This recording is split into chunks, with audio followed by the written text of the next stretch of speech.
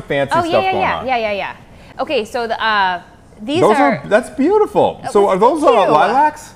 I think so. You know what I do? She's I'm, lilac I am such a nails. type B person. I literally go there and say, whatever you want, help, like, you know, use your creativity, Oh go to town. And she does a fabulous job. And this time she picked purple flowers. I love it. I Um, love it, Caitlin. Yeah, so we're going to talk about gel polish. So this is another option. So this I think is acrylic. This is how much I know. I think this is acrylic. Gel polish. So you when you go get your nails done, Anthony, you can pick regular polish or gel nail polish if you're Okay. just going to get them painted. Regular is acrylic. regular is just nail polish that you put on your regular nails that chips off. Okay. Super annoying. Gel lasts a little bit longer, maybe a two weeks. It's a little more expensive, and you put your hands underneath those like lights. So I thought that this story was going to be about the lights because they say that that can give your hand cancer, um, skin cancer. But actually, we're talking about an ingredient in the gel nail polishes that, as of yesterday, the European Union banned. Okay, so let's get into this. Anthony suggested I don't try to pronounce this. Don't do it. So I'm just going to call it TPO. TPO. It's an ingredient called TPO in this nail polish, and it's what gives the gel manicures that ultra glossy finish and fast dry time under UV or LED light. So I'm wondering if it's in the acrylic too, now that we're saying it, because you do put your hands under those lights. Um, but EU regulators ruled it as toxic, linking it to fertility and reproductive health risks. Yikes. What? Because we've been trying to, I mean, by we, I just mean collectively, fertility has been a issue. issue. Everybody I, mean, know is having problems. Every, I don't think, uh, it- you'd be hard pressed to find anyone who's like kind of in our age range who doesn't either hasn't gone through infertility issues themselves or knows someone very, very close to them Yeah. that has experienced it as Right. well. And there's just been all kinds of speculation. Microplastics. My- yeah, or exactly. Whatever. Yeah. Or, or processed foods. sure. right? Yeah.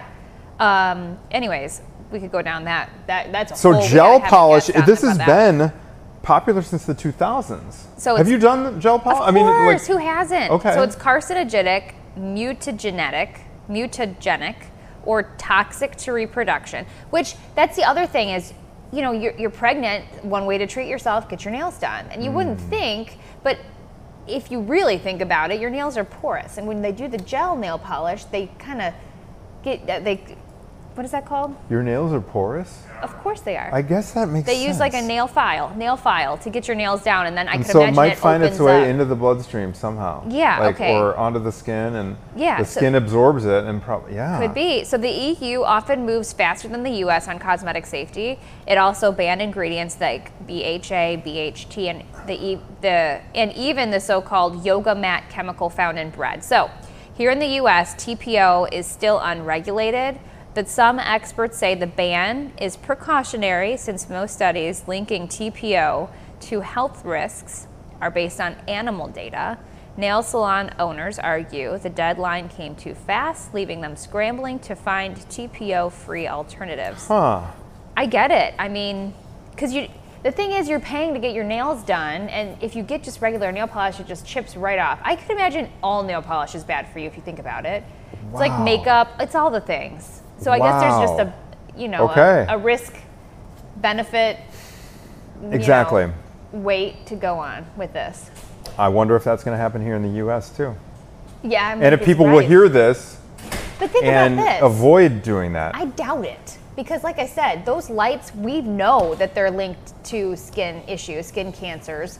Um, also, people get infections all the time getting their nails done. If you have a cut, you put your foot in the, you know, the baths, you could get an Really? infection. You could get an infection from a nail salon if they don't properly clean their, their tools. Yeah, it's a hazard. When I was in Thailand, side, side story, there were uh, places where you put your foot in like a pool. Yeah, have you done that? No. Did you try it? No, no. I was curious about it though. The fish little, they yeah, your, your feet, yeah. They they they feed on all the So you're not a man that goes and gets his nails done. I want to get a pedicure.